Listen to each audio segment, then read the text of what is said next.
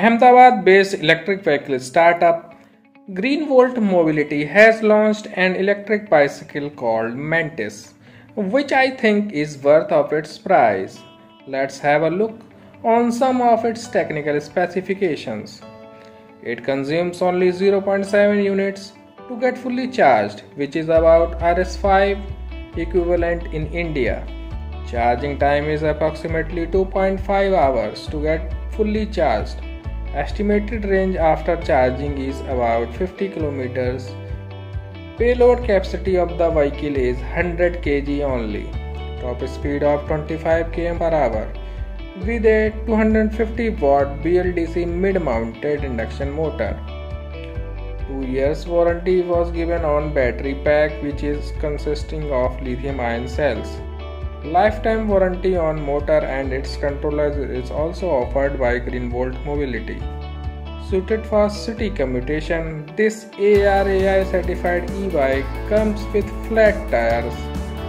E-bike also comes with TFT display which shows speedometer and odometer readings and this comes equipped with cruise control feature also.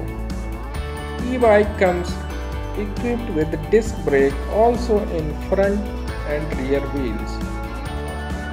And this has a LED headlamp and a fast flashing red tail lamp which is also LED. But wait a minute, Mantis also offered a wide seat for riders to sit comfortably over it for a better experience.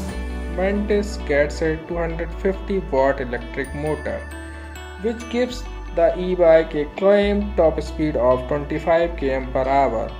But due to low power output and speed, you do not need a license to ride the Mantis. It does not even have to be registered.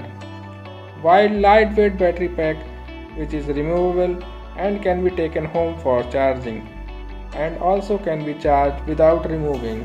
Mantis e-bike is also known as no challan bike as due to the ARAI certification its power is below 250 watt and top speed is also limited to 25 km per hour.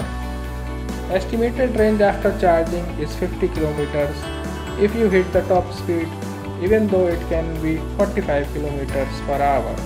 So need no not to worry about.